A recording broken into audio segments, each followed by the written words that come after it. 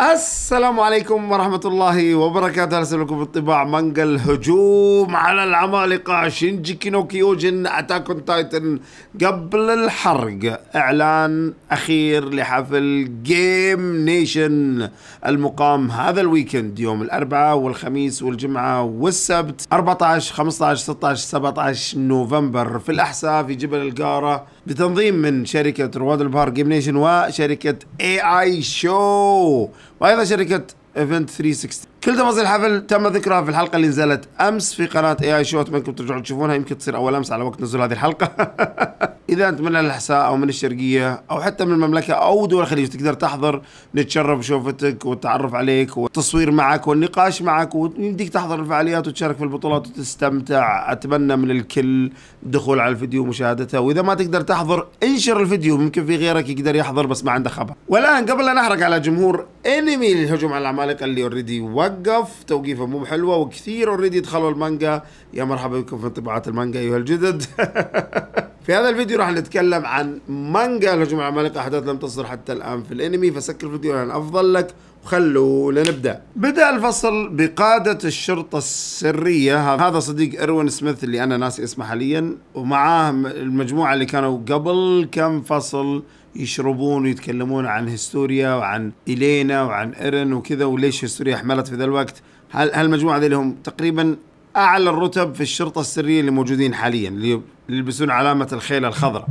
فحين قاعد يقول نتائج التحقيق حقهم يقول آه تقريبا قرابة المئة شخص من فرقة الاستطلاع بما فيهم فلويتش فوستر. فلويتش هذا اللي حاليا صاير قائد حزب إيرن. يعني الشخص اللي قاعد يدعم ايرن هو اللي استقبل ايرن أول ما جو اعطاها الجاكيت اللي يلبسه وهو اللي سرب الخبر للجرايد عن إن ايرن معتقل. فقاعد يقول لهم التقرير انه في قرابة ال شخص من المسجونين ومن الحراس اللي كانوا يحرسون السجن كلهم اختفوا وانحاشوا.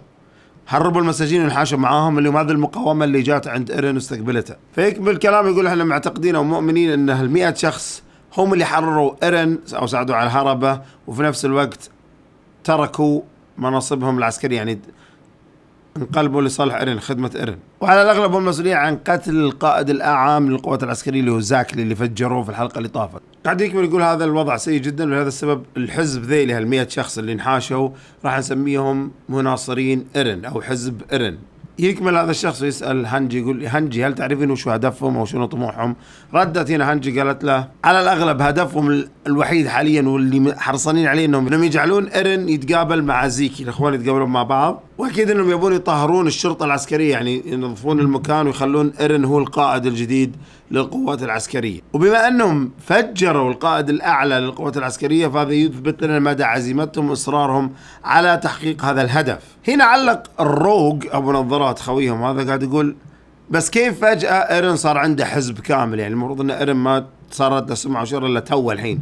فعلى الأغلب إن كل المناصرين حق إيرن هم في الأساس مناصرين حق زيكي أو يمشون في خطة زيكي. ردت هنجي قالت لا هم يصدقون في إيرن وإيرن نفسه مصدق في زيكي وخطة زيكي. وبالتأكيد طبعا كل اللي إحنا سويناه ان إحنا قاعدين نشكك في زيكي من أول ما جاء وقاعدين نضيع وقت ما مشينا قدام ما مشينا في الخطة قدام. ولهذا السبب في النهاية شعب الألدين اللي هم المية اللي انقلبوا اللي عارفين إحنا لازم نعتمد على الإخوان ييجر اللي هم ايرن ييجر وزيكي ييجر. من أجل أن ننفذ خطة محطمين الأرض العمالقة اللي داخل الجدران نطلعهم ففي النهاية أنتم يا الشرطه السرية اللي كنتوا خايفين ومشككين ضيعتوا الوقت ده كله في مناوشات وتحقيقات وبتشير ما تبون تسوون الخطه خايفين خايفين. لا عجب أن الجنود هالمية ذي اللي شعروا بهذا الشعور الغريب إنه أنتم قاعدين تماطلون تضيعون الوقت. وأكثر شيء فجر القنبله يعني أكثر شيء خلى الجنود اللي يفجرون القائد الأعلى إنكم أنتم يا الشرطة السرية كنتوا قاعدين تخططون ان في شخص ثاني يجي وياكل ايرن قاعدين تختارون يعني في الاجتماع اللي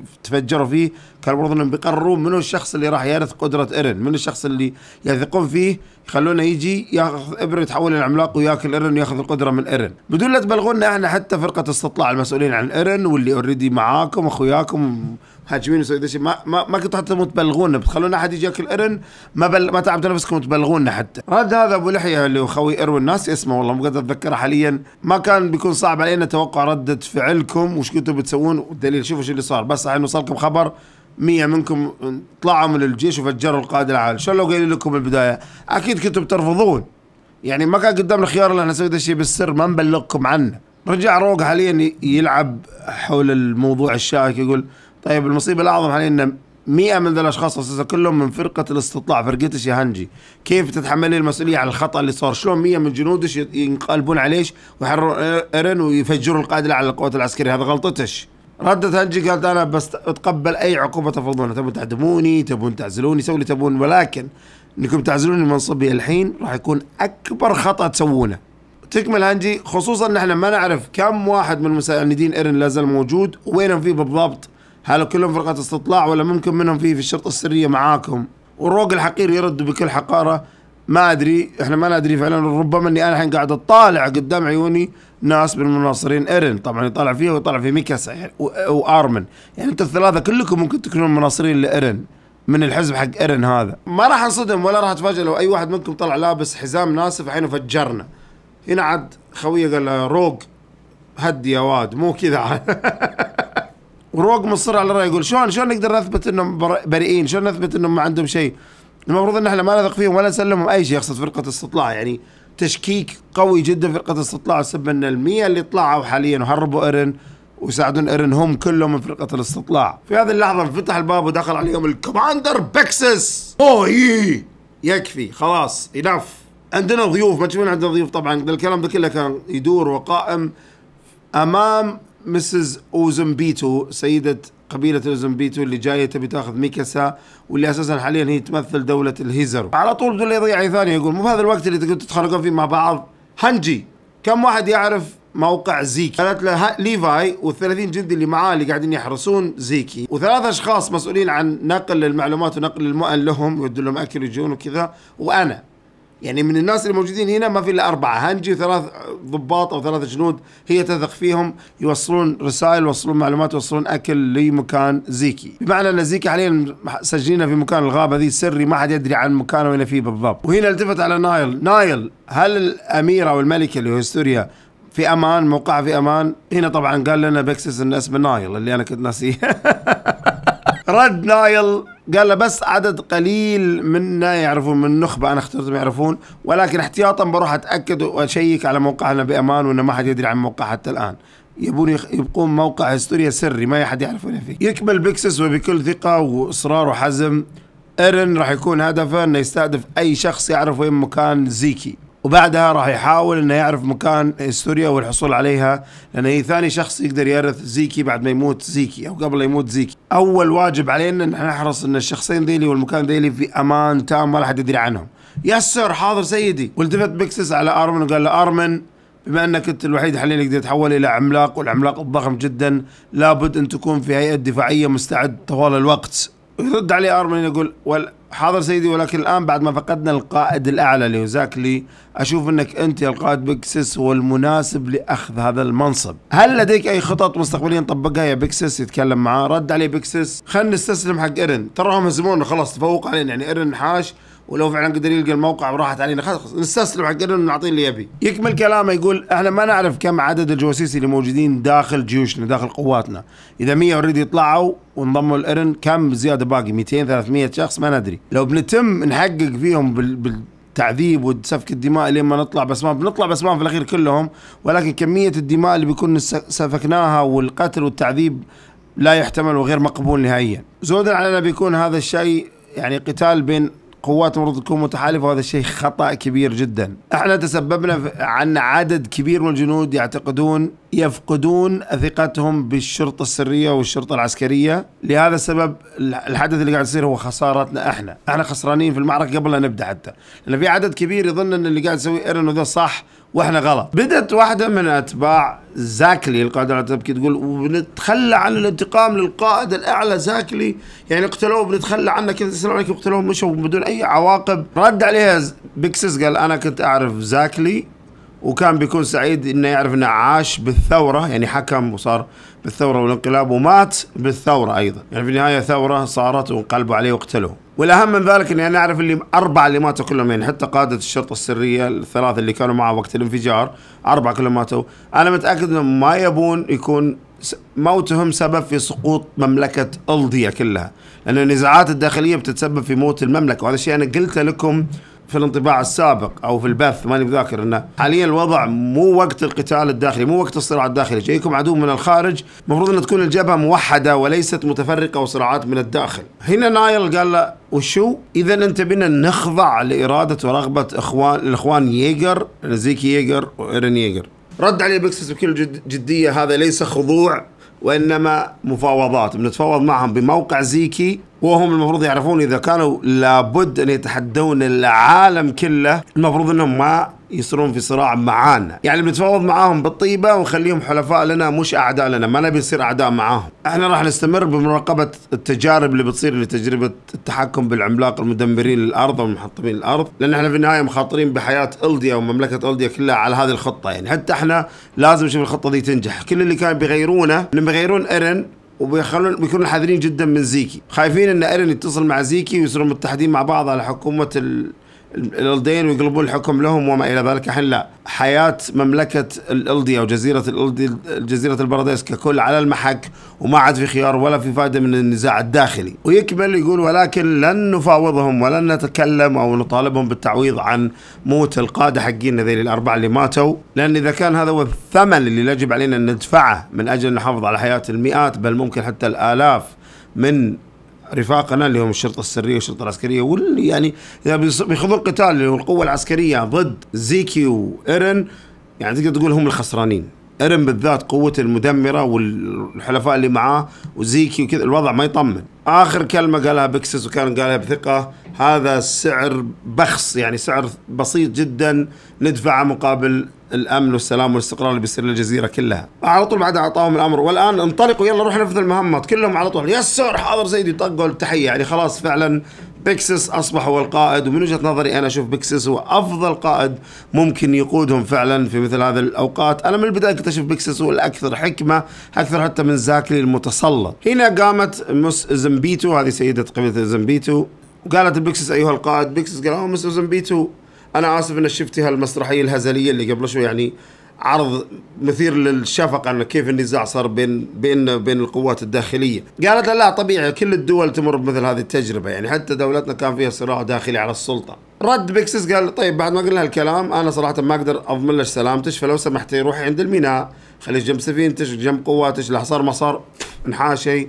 لأني ما أقدر أضمن لك سلامتك هنا. أظني بسوي ذا الشيء وأتمنى النصر لمملكة إلدي. يعني أتمنى أنكم تنجحون في التجربة وأنكم تتوحدون وتنتصرون في المعركة ضد الميرلي وضد دول العالم كلها قبل لا تمشي نادت ميكاسا قالت لها ميكاسا وحطت يدها على كتافها كذا مسكتها وقالت لها اسمعي لو صار أي شيء وحسيت انه في خطر أو كذا تعالي اهربي معنا على سفينتنا. يعني سفينتنا مفتوحة تعالي تهربي معنا ونروح إلى دولة الهيزرو.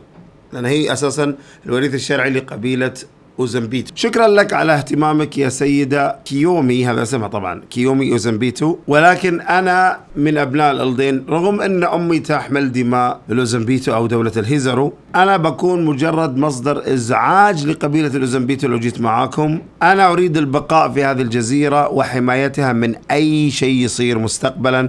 يعني سواء انتصروا ذيلي ولا انتصروا ذيلي أنا بتم هنا من أجل حماية جزيرة البارادايس ومملكة الألدين لأن أنا من الألدين. أرجوك لا تقلقي نفسك. نفسك بمسؤوليتي. يعني لا تحاتيني وتحسين إنك مسؤوله عني أو لازم تحرصين على حمايتي. ردت Miss كيومي قالت لها عن ماذا تتحدثين؟ إحنا ما جينا هنا إلا عشانش أنت. يعني قالت لها يعني لا تشغلين بالك بحمايتي قالت إحنا جايين عشان نحميش أنت. ردت عليهم ميكاسا بكل حقارة صراحة. عشاني أنا ولا عشان الموارد اللي تحت الأرض؟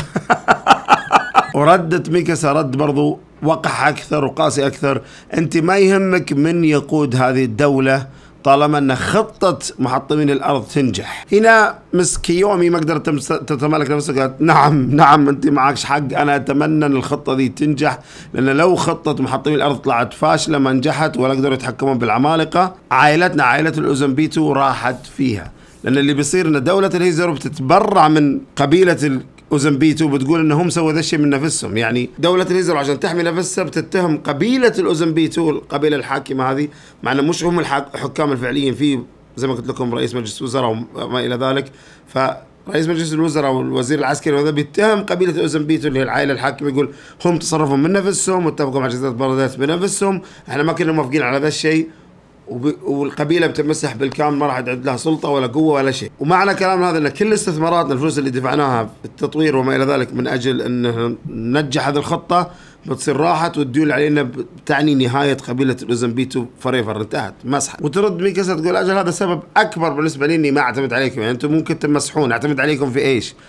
هنا عاد Miss كيومي أو Miss اوزمبيتو ردت رد شوي قوي. تقول لربما فعلا قبيلة الاوزمبيتو تغيرت في الظروف الصعبة اللي مرينا فيها ذي. وقد إن الأغلب يسمونها حاليا مجرد عجز يدورون عن الفلوس طماعين وما إلى ذلك. ولكن نحن لم نفقد فخرنا ومعزتنا وكبريانا كقبيلة أوزمبيتو الفخر اللي أمش نقلته لاش اللي هو الشعار اللي حطته على يدش والدماء الملكية والدماء القبيلة الأوزمبيتو مهما حدث لهذه الدولة إحنا فعلا نبي نحميك يا ميكاسا.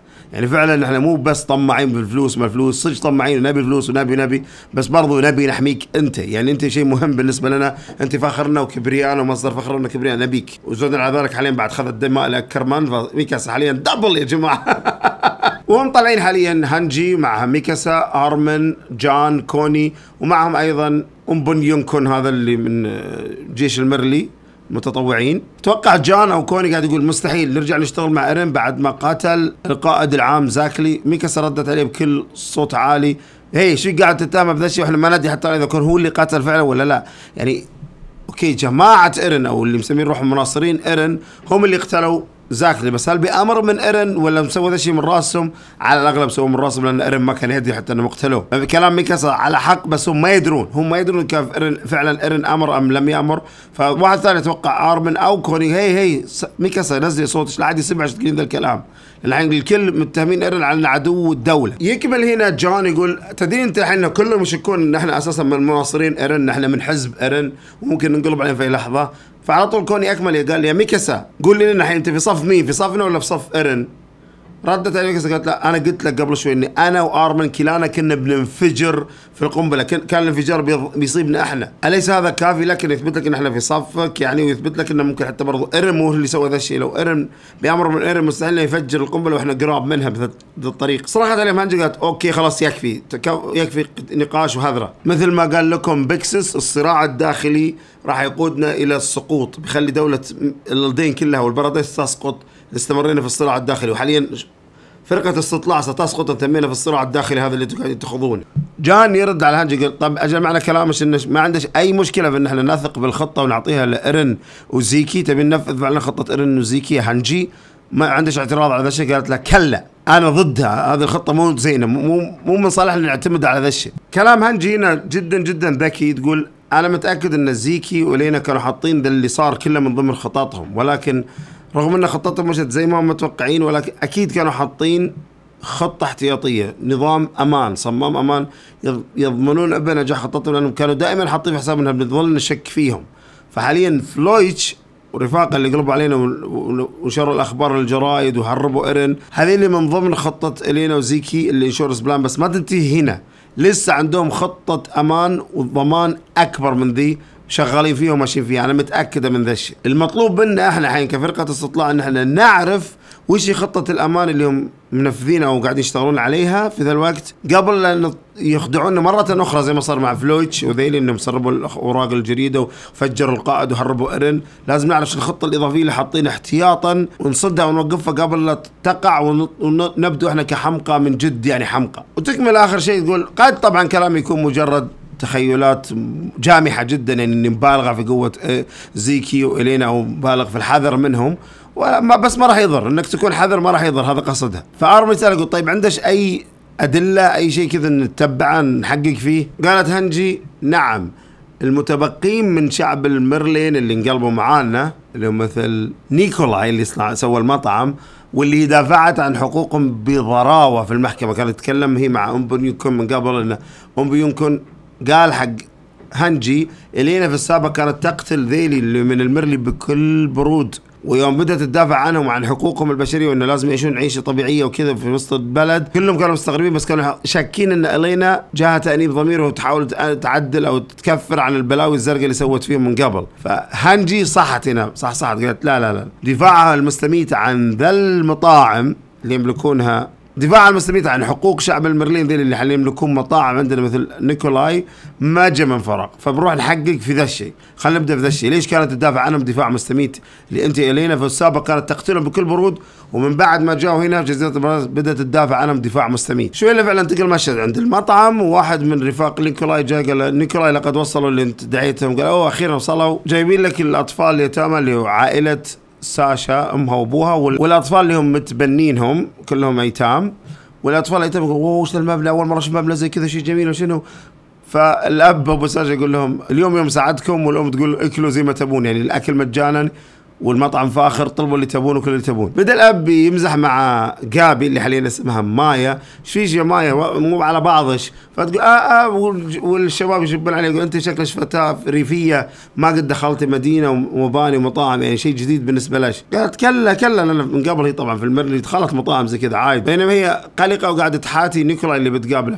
فهي قاعدة تقول حق كايا اللي انقذتها ساشا كايا متأكدة فعلا إن في أحد من جيش المرلي موجود في ذا المطعم؟ كايا ردت قالت نعم بس انت بيخليش واقفه بثبات لأن ترى فيه شرطة عسكرية يجون هنا كثير في المطعم يزورون المطعم باستمرار فلا يشوفونك يتعرفون عليش يلاحظون تصرفاتك الغريبة تصرفي بشكل طبيعي. فالكو يقول أنا بس سعيد إن بنقابل واحد من ميرلي واحد من ميرلي حقيقي من جيش الميرلي الحقيقيين. طلع نيكولا من المطبخ يقول مستر بلاوز شكرا لقدومك إلى هنا. أوه جبت معك الشعب كله.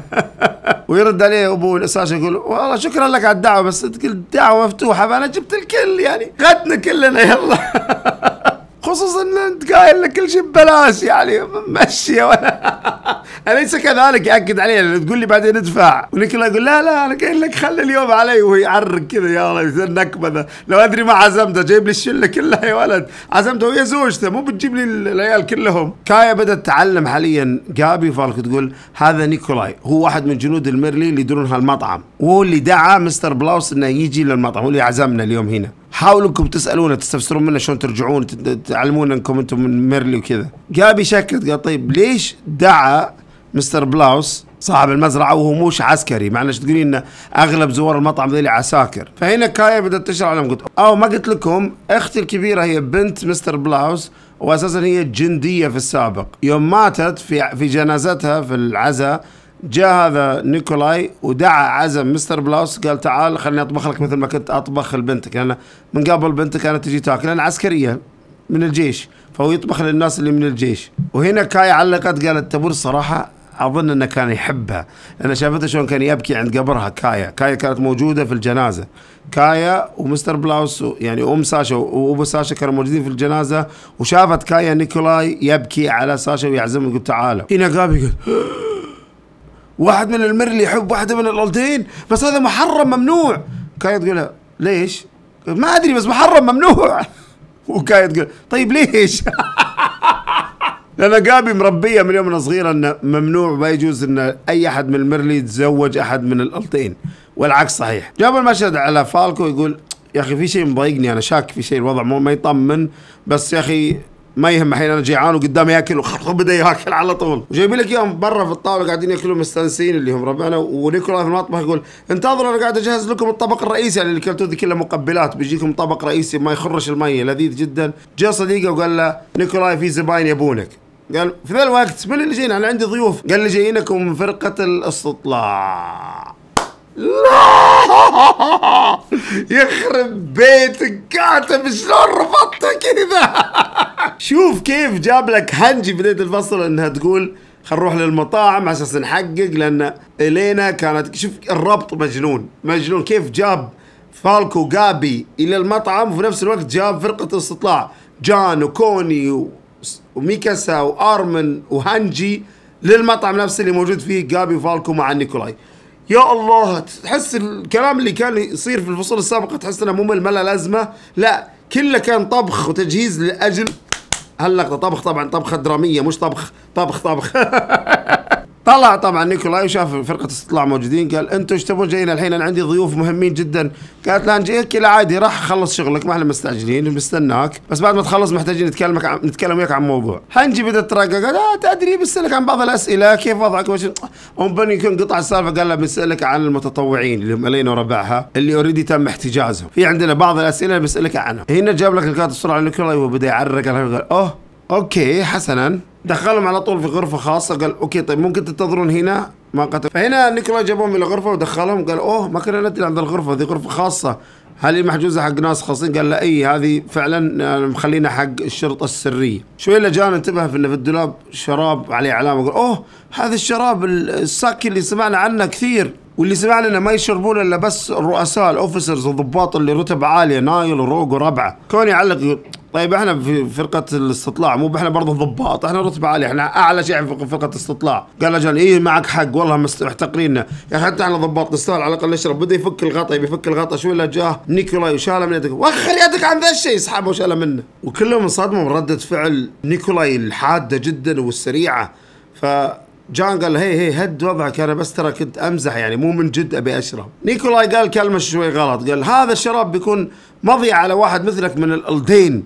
هذا كلام عنصري المفروض ما يقوله. هنا جان غضب جدا ومسكه من هنا وجره كذا قال هي إيش قاعد تقول؟ إيش قاعد تتكلم؟ تظن إن الشراب يهتم؟ أي عرق اللي قاعد يشربه؟ يعني الغرش بتهتم وتفرق ايا كان عرقي أو أصلي بيفرق شو اللي يشرب إذا شرب ما يشرب من المرلي أو من إيش ذا الكلام. ورجع نيكولاي يهينه ويقول له لا تلمسني يا الألدين بس اني كنت طيب معك بدل لا تظن إني أنا طيب معك على طول ولا إني أنا غيرت رأيي. فهنا جان عصب وقال له نسيت منو أنت؟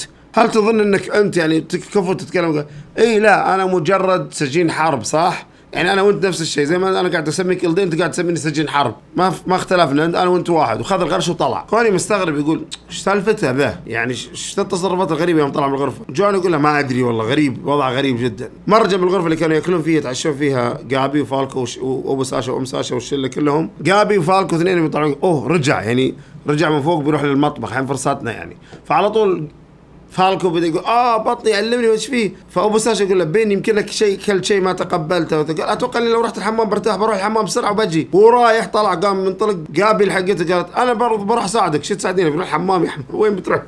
ما يصلح. ما يصلح.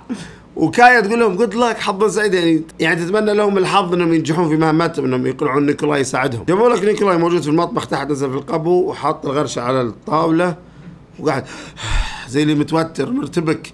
خايف. شاف جابي فالكو جا نزلوا وقال لهم ترى ما في حمام هنا الحمام فوق جابكم هنا غلطانين مضيعين. فالكو قال له إحنا ما نحتاج ندخل حمام. وجابي تقول له نعم إحنا جايين من ميرلي إحنا مرشحين لمنصب المحاربين اللي يعني من الميرلي بس مرشحين إحنا ميرلي شرفيين. حصلنا على الشاره إن إحنا ميرلي شرفيين اللي ما كانت تبي تفسخها. نيكولا يقول ها؟ انصدم يعني مو مصدق اللي قاعد يقولونه.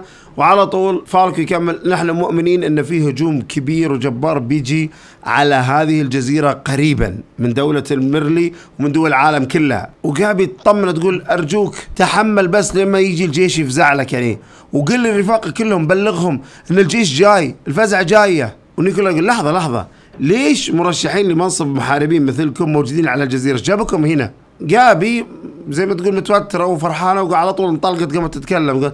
قبل شهر الشياطين الملاعين ذيلي يهجموا على مدينة ليبرو في هجوم مفاجئ. على الرغم ان هذا الشيء بيكون صعب عليك تصديقه ولكن إحنا ركبنا على بالون أو طيارة اللي هو المنطاد الكبير عائد إلى هذه الجزيرة وركبنا فيه وجينا لين هنا. نيكولاي سمع القصة سمع القصة كيف ساشا ماتت. يعرف إن في اثنين ركبوا واحدة منهم طلقت على ساشا فبدأ يستوعب بدا بدأ مخي لا لا شبهم هنا. يعني هذا اللي قتلوا ساشا. فهنا وبنظرة غضب ورعب وصدام هل هل قتلت جندي؟ ليكون بعد قتلته جندي فتاة يقصد ساشا طبعا. فالكو انتبه. يعني إيش درى إن إحنا قتلنا؟ وإيش درى إن إحنا قتلنا فتاة؟ حس بالموضوع بدأ يركب الفكرة. فالكو يقول ها؟ وبينما جابي فرحانه سعيدة بالإنجاز اللي حققته. إي أنا قتلت. إي. أجل أنا من قتلتها أنا من أسقطتها. فالك يقول لها جابي انتظري. لحظة لحظة. وجابي فرحانه تقول بس أنا ما خلصت العالم إلا من قليل يعني ما خلصت إلا من واحدة بس. أو اثنين لأن اقتلت برضو اللي تحت قبل لا تقتل ساشا. انتقامنا الحقيقي لما فعلوه بديارنا سيأتي قريبا. فرحانة قاعدة تقول لها وفالكو جاي من وراها. إي جابي وجابي تقول إيش تبي؟ ها إيش فيك؟ خليني اتكلم خليني اتكلم الرجال. وخلاص نيكولا يقول اذا انت من قتلها. جابش الله عندي. وفجأة كلاهما جابي وفالكو. خافوا وخلاص تحول إلى وحش كاسر.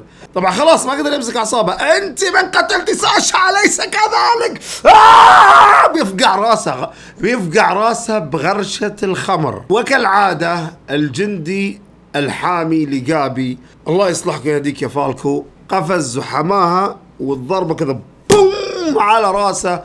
كسر غرشة الخمر على راس فالكو. سقطت قابي وفالكو أرضا وذا نزل حاقد وقابي أول ما قام فالكو فالكو شو اللي صار؟ منصدمة مو مصدقه شو اللي صار؟ تونا قاعدين نتكلم هذا المفروض إنه أمان، هذا المفروض إنه في صفنا خوينا، ولا زالت تشوف الدم يصب من فالكو، فالكو إيش فيك فالكو؟ تو تلتفت الا بوم لكمة ثانية في وجهها من نيكولاي حاقد حاقد فجأة شال نيكولاي فالكو بيده اليسار وجر قابي ورماها قدامهم وجايب معاه سكينة فقام أبو ساشا شو اللي صاير؟ إيش فيك إيش فيك إيش قاعد تسوي في بن ومايا ونيكولاي واقف يقول لقد كانت هي السبب.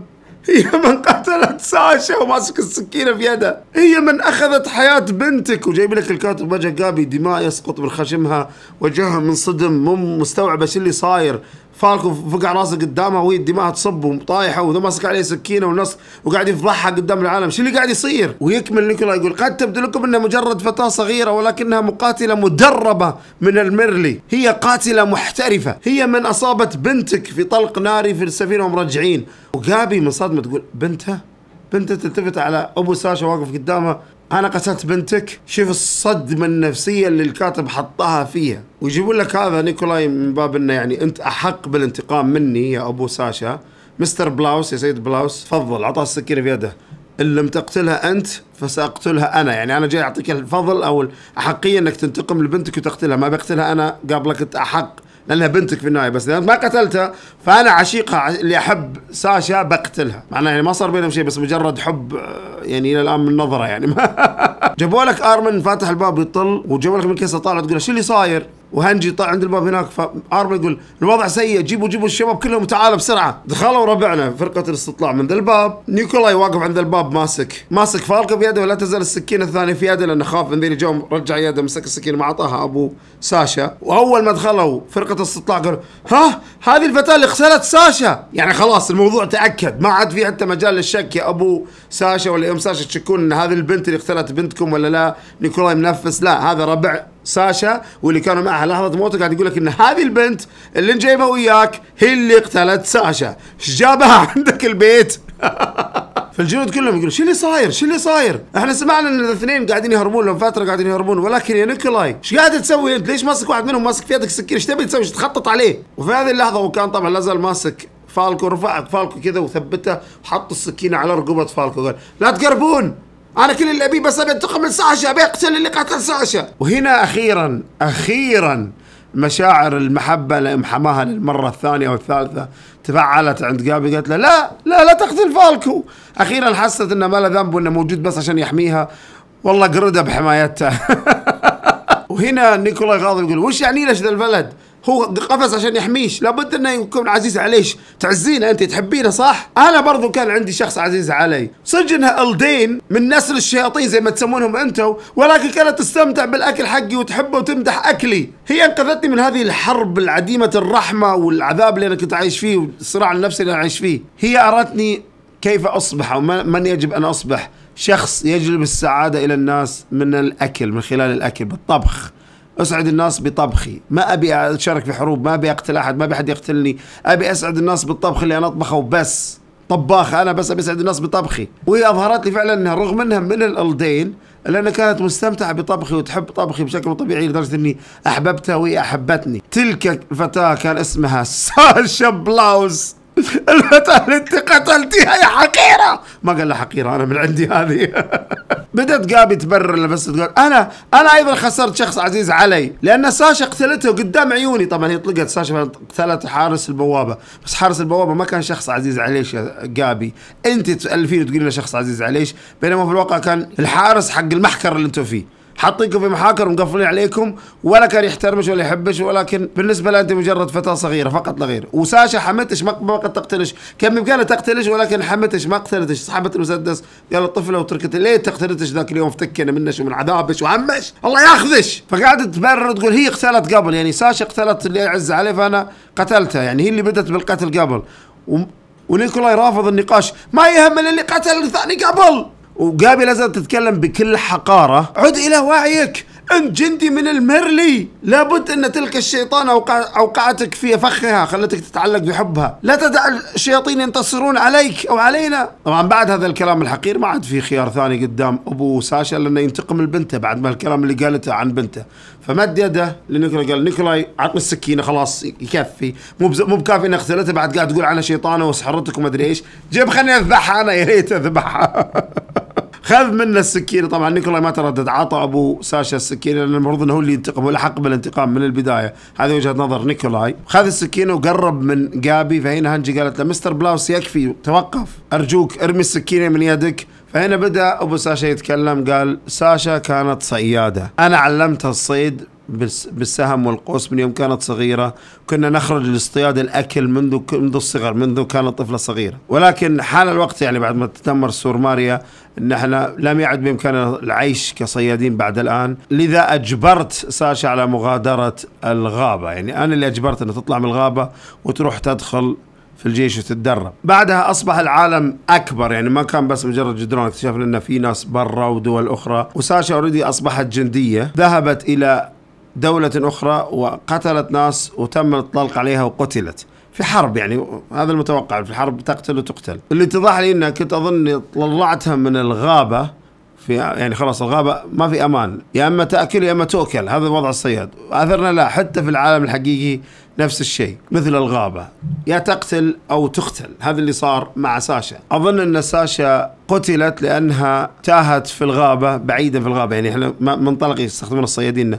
إذا رحت تصيد لا تروح في مكان بعيد في الغابة بعدين يصطادونك الوحوش يقتلونك الوحوش المفترسة اللي أكبر منك وأقوى منك. ويكمل أبو ساشا بحكمة كلام حكيم جدا. يجب أن ندع الأطفال على الأقل يخرجون من هذه الغابة وإلا الكارثة والماساه ستتكرر مرة بعد أخرى، يعني إذا إحنا قتلنا جابي بيجي بعدين اللي بيقتلنا لأن إحنا قتلنا جابي والمأساة دي بتستمر كذا، هم يقتلون منه إحنا نقتل منهم، بما أن إحنا ناس بالغين مش أطفال زيهم، إحنا اللي المفروض نحمل على عاتقنا تحمل الاحقاد أحقاد الماضي، إحنا اللي لازم نتحمل على أكتافنا تحمل عبء أعقاد الماضي. طبعا هو يقول ذا الكلام أعطى زوجته السكينة وزوجته اخذت السكينة وحطتها في على الطاولة. يعني كدليل إنه لا أبو ساشا يبي يقتل جابي ولا حتى أم ساشا تبغى تقتل جابي. كلاهما كانت السكينة في يدهم وكلاهما تنازل عن حق الانتقام وقتل وحطت السكينة على الطاولة. مو بس كذا إلا امروا نيكولاي. نيكولاي دع بن يذهب. طبعا بن اللي هو فالكو. هم يسمونه بن الاسم المستعار حقه اللي قال لهم إياه. وأول ما أبو ساشا مسك فالكو في يده فرقة استطلاع هجموا وثبتوا نيكولاي على طول مسكوه. وميكاسا جات هرعت إلى جابي أريني جروحك يعني وريني شلون وجهك مصاب وين الدم شو اللي اصابك فيه بالضبط. الدم لين يطلع. وأبو ساشا وأم ساشا يقول مايا هل أنت بخير؟ وجابي مو مصدقة. أنتم حقا يعني أنتم فعلا أنا قتلت بنتكم وسامحتوني من جدكم. مو مصدقة مو مصدقة صدمة العمر بالنسبة لها. أنتم حقا ما تكرهوني وفي اللحظة اللي قالت ما تكرهوني ما تحقدون علي جاب لك الكاتب كايا خذت السكينة من فوق الطاولة. آه! أنا أقتلها! يا ليت اقتلها انت يا عالم. ولأول مرة في تاريخي أتبنى موت طفلة في مانجا أو في أنمي يا عالم إيش قاعد يسوي فيني ذا الكاتب؟ إيش قاعد يسوي فيني ذا الكاتب؟ تراها طفلة في النهاية ولكن خلاني حاقد عليها. لأول مرة في حياتي أحس إني نادم إن ميكاسا طبعا اللي ما يعرف اللي صار ميكاسا قفزت ومسكت يد كايا قبل لا كايا تطعن جابي فكنت أتمنى إن ميكاسا وخرت وخلت فعلا كايا تقتل جابي ولكن صدقوني صدقوني الكاتب يبغى يغير شخصية جابي جابي كانت تكره فالكو وتقول انقل عني راح عني وهذا والحين حبته بعد التضحية الثانية له. جابي شافت قدام عيونها الناس اللي المفروض أكثر ناس حاقدين عليها وينتقمون منها ويبون يقتلونها أم وابو ساشا سامحوها.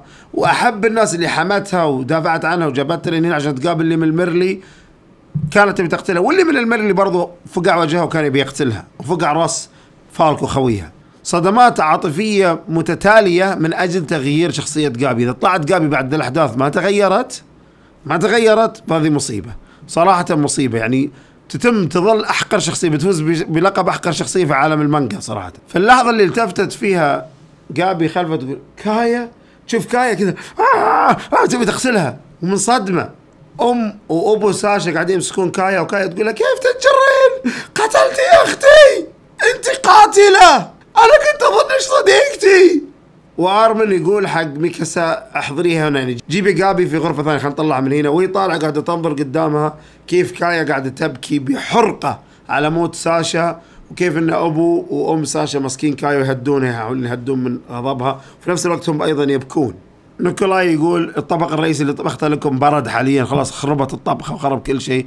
بعدين قاعد يطالع في فالكو مسكين. وهنا اعترف وبكل صراحة وصدق حنجي اغسلي ثم هذا الفتى بسرعة عن الخمر اللي شربه لابد إن بعض من قطرات الخمر بعد ما ضربت على رأسه تخلط داخل ثمه. حاولي تغسلين ثمه بسرعة. فهنجي قاعد تقول له ها؟ بعدين كملوا تعليقه قال على الأغلب إن الوقت فات الأوان يعني ما في فايدة من إنك تغسلين الحين بس لازم تغسلينه.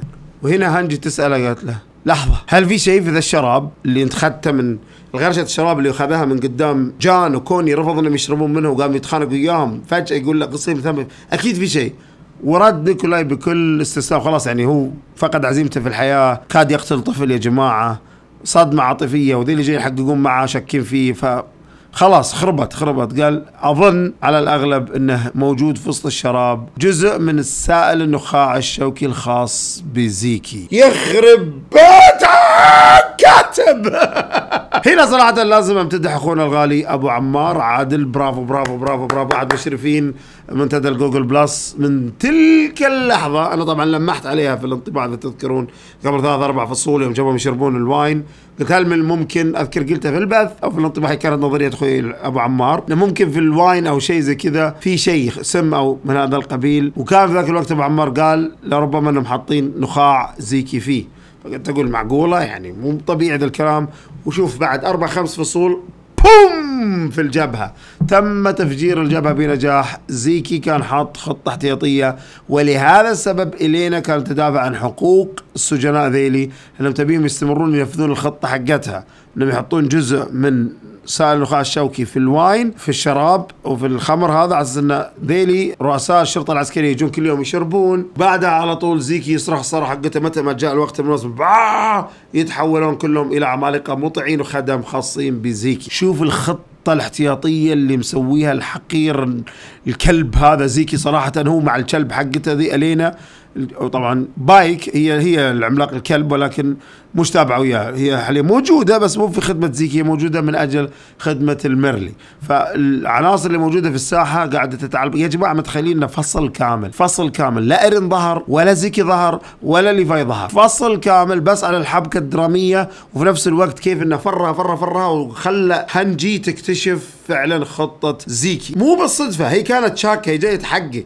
بس ما كان بيعترف نيكولا بكل ذا السهولة لولا الصدمة العاطفية اللي مر فيها مع سالفة جابي وفالكو. كيف إن جابي فالكو رغم إنهم هربوا في السابق رجع تم اعتقالهم من جديد ولكن بعد تغير شخصيتهم 180 درجة مرورهم بكيف إنهم عرفوا ماضي ساشا وسمعوه بأذنهم وكيف ان الحين عرفوا إن اللي حمتهم وانقذتهم وحطتهم في الأكل وهي نفس الشخص البنت اللي حمتها ساشا. يا الله يخرب بيت الكاتب. يا الله سيناريو درامي مجنون مجنون مجنون. صراحة كاتب هجوم العمالقة كل ما له ويتعمق ويتفوق على نفسه في الحبكة الدرامية والقصة والحماس. يعني أنا متحمس للي جاي ومن قهر إن اللي قاعد يصير ما في أكشن بس في نفس الوقت مستمتع بالفصول هذه اللي قاعد تكشف الخطط والاستراتيجيات والوضع الدرامي والفلسفة الدرامية اللي قاعدة تصير. من اللي صح من اللي غلط؟ تشوف عن نقاش في المنتدى يقول لك لا ذا غلط لا ذا غلط لا ذا اتمنى يموت لا ذا المفروض يموت. هذا ما له ذنب هذا له ذنب هذا اللي يتحمل هذا اللي ما يتحمل. يا الله يا الله. برافو برافو برافو عليك. إيساياما أبدع. كاتب هجوم العمالقة قاعد يبدع في الحبكة والقصة. يوما بعد يوم. على العموم كذا انتهى انطباعنا لهذا اليوم لهذا الفصل. انطباع مجنون جدا. شو اللي بيصير الحين؟ كيف يتفقون مع إيرن؟ كيف يلغون إيرن إن زيكي مسوي خطة زي كذا؟ كيف بيأثر الشيء اللي يوم سووه هل فعلا شربوا القاده نايل وروج وذي شربوا already خمر فيه نخاع شوكي؟ ولا هذه الغرشة الوحيدة اللي كان فيها نخاع شوكي ما عاد يشربونها حتى الآن؟ في أشياء كثيرة كثيرة في راسي أبي أسألها تساؤلات طرحها والنقاش فيها بياخذ ساعتين ثلاث ساعات زيادة. فلهذا السبب موجود بث المانجا كل أسبوع اسويه يوم الاثنين الساعة 8 8 ونص بتوقيت السعودية. أنا قلت لكم من قبل إن احتمال الأسبوع ما يكون في بث بسبة الحفل ولكن الحين متحمس أسوي بث خصوصا بوجود أخوي الغالي أحمد اليماني في الأحساء وصل نعم وقت تصوير الحلقة هذه موجود. إن شاء الله إن شاء الله إذا بيمدينا الليلة إن شاء الله يا رب يا رب. إن شاء الله إذا بيمدينا اليوم إن إحنا نبث الاثنين. أنا قاعد أصور صباحية الاثنين. إذا بيمدينا اليوم الاثنين نبث بث مانجا راح يكون موجود معنا في One Piece يمكن في Kingdom يكمل معنا يمكن يطلع ما أدري. وأخوي إبراهيم بيكون موجود أيضا. عبد الرحمن ريزان ما أدري يمكن إيه يمكن لا على حسب وضعه. أنا نيتي إني أبث اليوم بس إذا صار في ظرف وما قدرت أبث فأعتذر منكم. بنكمل النقاش. إذا مو في بث اليوم الاثنين بث الأسبوع القادم الاثنين. كل الاثنين عندنا بث لازم نتكلم ونحلل هذا الفصل ونتناقش في كل النظريات والاطروحات اللي تطرحونها أنتم على الهواء مباشرة في البث. في الختام قولوا معاي. سبحانك اللهم وبحمدك أشهد أن لا إله إلا أنت أستغفرك وأتوب إليك. لا تنسوا الاشتراك في القناة بضغط الزرين والضغط على زر الإعجاب والشير. ونشوفكم على خير.